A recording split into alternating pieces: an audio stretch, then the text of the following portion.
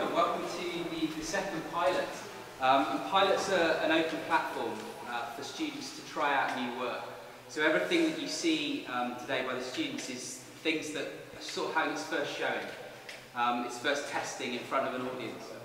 So I'm going to hand over to Alex for this piece, which is called Objects.